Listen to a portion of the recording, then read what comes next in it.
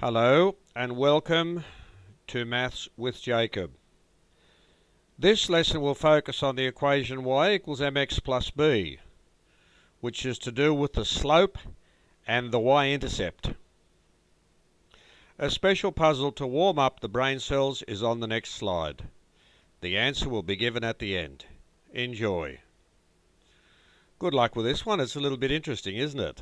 Doesn't tell you much, but it's very interesting. Slope and y-intercept. y equals mx plus b. Consider the red line which is drawn on the number plane. That's this line here. Notice it continues infinitely in both directions. Notice that it cuts the x-axis at minus 2, 0. Minus 2, 0, which is there.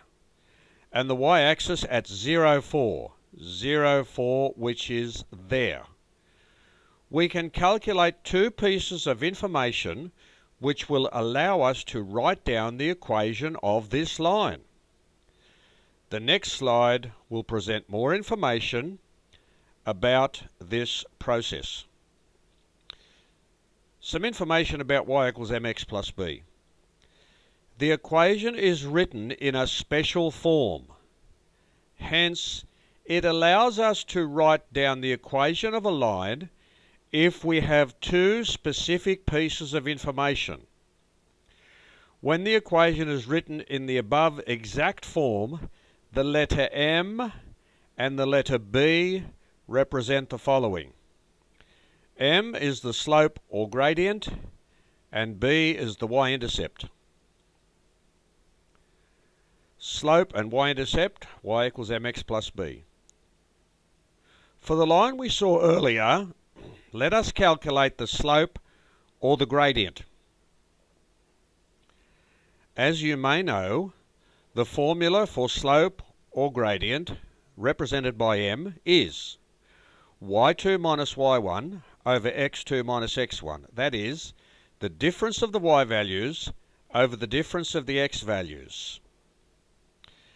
Now here we have 4 minus 0, which is 4 minus 0. That's the difference of the y values. Down here we have 0 minus minus 2. That's 0 minus minus 2, which is the difference of the x values. That gives us 4 over 2, which is 2. So the slope of this line is 2. Calculating the y-intercept is very simple. It is the y-coordinate where the line cuts the y-axis.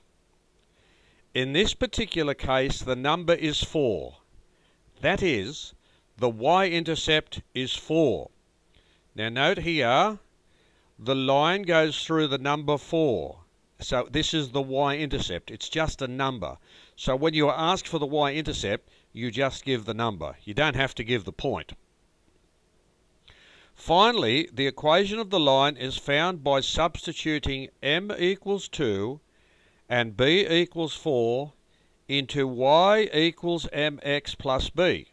So, the equation of the line is y equals 2x plus 4. See here, we put 2 for the m, and we put 4 for the b. And that is the equation of this red line. Quick quiz. Now these are five questions which will help you with your understanding based on the information in the video. If you need to check through at any time, please do so. The slides are there for your information and to help you. What is the meaning of the following? The answer, think big. Interesting, isn't it? Not as easy as it looks. Here are the answers to the quick quiz. And as I've said many times before, please check through the video if you need to do so. If you enjoyed this video, please subscribe on the next slide and you will receive a notification as to when the next video is available. Hope to see you next lesson.